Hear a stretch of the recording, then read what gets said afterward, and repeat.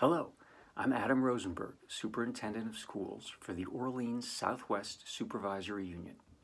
Currently, students, teachers, administrators, and community partners are working to transform our schools so that learning doesn't just take place in our classrooms, but outside them as well, and students can choose from a variety of authentic, multidisciplinary learning opportunities.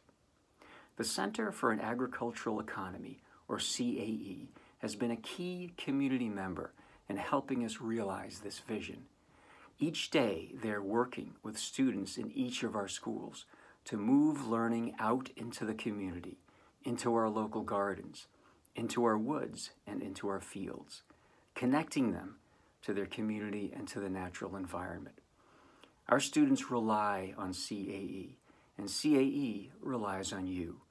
Please make a gift to CAE. Thank you for your support.